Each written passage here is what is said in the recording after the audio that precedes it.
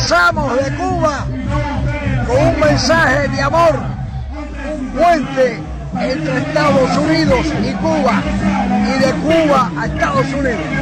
Esta caravana enfrenta a los odiadores que han convertido a Miami en la ciudad más repudiada del mundo.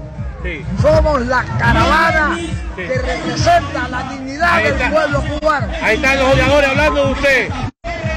Sí, me llaman terrorista. Sí. A mí, que he sido víctima de bombas en Miami, que la convirtieron en la ciudad de las bombas.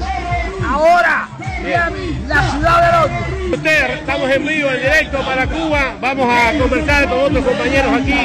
Aquí estamos. ¿Qué tiene que decir de este encuentro hoy? Hablo Bueno, alto. aquí estamos una vez más en contra del bloqueo eh, que promueve el gobierno de los Estados Unidos contra Cuba, eh, que es repudiado por las personalidades eh, más justas de este mundo, que siempre se han pronunciado en contra del bloqueo. Hay que quitar, ese terrorista es para los que tienen la lista a Cuba, ¿verdad? Exactamente, ¿no? El, el que promueve el gobierno de los Estados Unidos el eh, que promueve el terrorismo de Estado. Estamos en una transmisión especial a través del Necio para el mundo, Vengan, vengan, a través de vengan, vengan Pasamor. aquí, Aquí está la señal. Fuentes de ¿Qué amor. tienes que decir?